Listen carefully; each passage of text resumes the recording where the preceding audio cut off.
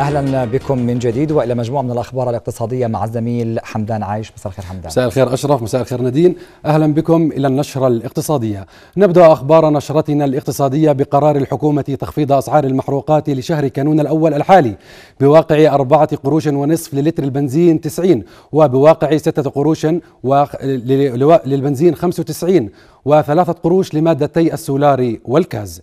إذ خفضت الحكومة سعر لتر البنزين 90 من 735 فلس للتر بشهر 11 إلى 690 فلس للتر بشهر 12 وفي حين خفضت سعر البنزين 95 أكتان من 895 فلس للتر شهر 11 إلى 835 فلس للتر شهر 12 أما سعر مادتي السولار فتم والكاز فتم بموجب قرار الحكومة تخفيضه من 575 فلس للتر إلى 545 فلس للتر في حين قررت الحكومة الإبقاء على سعر بيع صوانة الغاز المنزلي وزن 12.5 كيلوغرام بعشرة دنانير كما نلاحظ في تسعيرة شهر 12 وإلى خبر آخر تابع المواطنون والاقتصاديون خلال فترة تهاوي خلال فترة التهاوي الماضية. أسعار النفط عالميا على مدى على مدى شهر تشرين الثاني الحالي.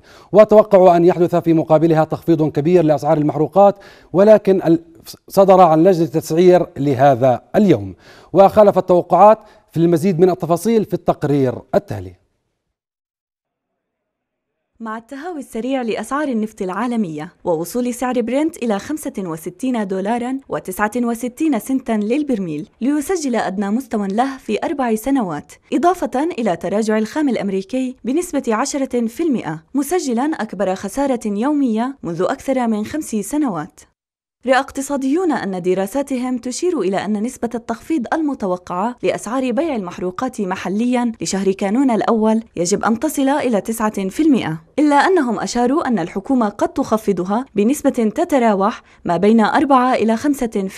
يفترض أنه الانخفاض يكون بين 9 إلى 10% قياساً إلى معدل أسعار النفط التي احتسب على أساسها أسعار المشتقات النفطية في الشهر الماضي اللي كانت حوالي 87 88 دولار، والآن المفروض أنها انخفضت إلى معدل شهري حوالي 80 دولار اذا نتحدث عن 8 دولار فرق وهذا يشكل حوالي 8 إلى 9 إلى 10% هذا يعني أن الانخفاض يفترض أن يكون ضمن هذه الحدود لكن أعتقد أن الحكومة ربما ستخفض بنسبة 4 إلى 5% في حين جاءت توقعات نقيب أصحاب محطات المحروقات وموزعي الغاز فهد الفايز بأن تفوق نسب التخفيض الخمسة في المئة إذ أن الحكومة تستند تأشيريا إلى سعر نفط برنت بنسبة 50% في تحديد التسعيرة و50% لأسعار المشتقات النفطية. وتبقى آمال الأردنيين بأن تكون نسبة تخفيض الحكومة لأسعار بيع المحروقات محليا بما يتوافق مع الانخفاض العالمي الكبير في أسعار النفط عالميا. ليلى خالد رؤية شهدت معظم البورصات العربية تراجعا حادا في تداولات جلسة اليوم الأحد بعد تهاوي بعد التهاوي إثر أسعار النفط قرار منظمة أوبك الخميس الماضي ورفع وتثبيت سقف الإنتاج. فقد هبطت بورصات دبي وقطر ومسقط بأكثر من 4% وسوق أبو ظبي والكويت بأكثر من 3% أما المؤشر السعودي فتراجع بنسبة 5.5% أما بورصة عمان فقد شهد أداؤها تحسنا في أولى جلسات التداول للأسبوع بدعم دعم من القطاع الصناعي. وأغلق مؤشرها العام على ارتفاع نسبته 23% وأغلق المؤشر عند مستوى عند نق... عند الرقم القياسي كان 2132 نقطة. وكان حجم التداول 8 مليون دينار. وعدد الأسهم المتداولة 9 مليون و600 ألف سهم نفذت من خلال 3865 عقد. أما على المستوى القطاعي فارتفع الرقم القياسي لقطاع الصناعة بنسبة 1.8% وقطاع الخدمات الخدمات نلاحظ ارتفاعا أيضا 24% والقطاع المالي ارتفع بنسبة 8% وعن مساهمة القطاعات في حجم التداول أظهرت البيانات أن القطاع المالي ساهم بنسبة 56.2% ثانيا جاء قطاع الخدمات بنسبة 31.7% وأخيرا القطاع الصناعي بنسبة 12.1% وإلى خبر آخر أكد وزير التخطيط والتعاون الدولي الدكتور إبراهيم سيف أن الأردن استكمل كافة الشروط التي طلبت التي طلبتها الولايات المتحدة الأمريكية لتحويل باقي مساعدات العام 2014 قبل نهاية العام. ويشار إلى أنه بموجب اتفاقيات المنح الأمريكية المقدمة من الوكالة الأمريكية للتنمية ضمن برنامج المساعدات الأمريكية الاقتصادية الاعتيادية والإضافية للأردن للعام 2014 والتي تم توقيعها نهاية شهر أيلول شملت اتفاقية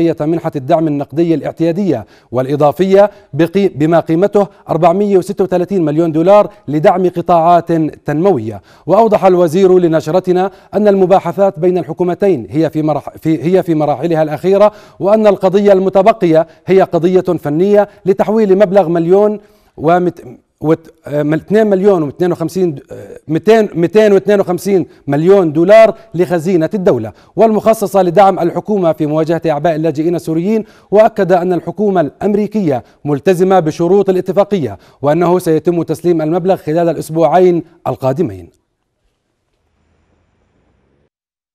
نحن الآن نتباحث في المراحل النهائية في موضوع المنحة. استكملت كل الشروط والقضية المتبقية الآن قضية فنية حقيقة بتحويل مبلغ 252 مليون دولار إلى الخزينة الذي يجب أن يتم خلال الأسبوعين القادمين إن شاء الله.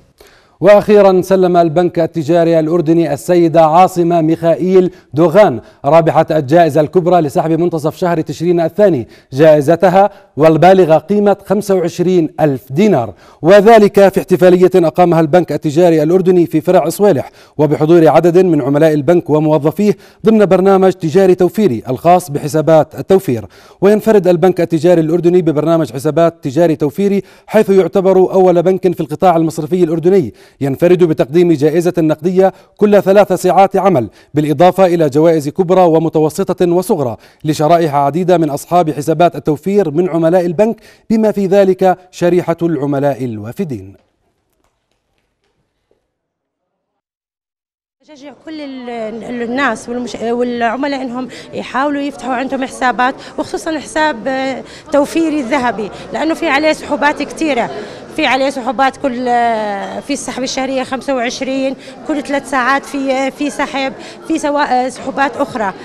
فبشكر البنك التجاري بشكر الإدارة مجلس إدارته المدير العام بشكر جميع العاملين في البنك التجاري بكل فروعه وخاصة طبعا فرع صويلح لأنهم فعلا إنهم متميزين جدا. يعني عائلة من من البنك التجاري يعني من أسرة البنك التجاري. وهذه المرة الثانية أو الثالثة بيكونوا بيفوزوا بالجائزة لأنهم هم بيحتفظوا بيوفروا إلهم كآباء وحتى فتحوا حسابات لأولادهم ومنرحب فيهم منرحب بالمجتمع الأردني بكل عملاء البنك وإن شاء الله إلى المزيد.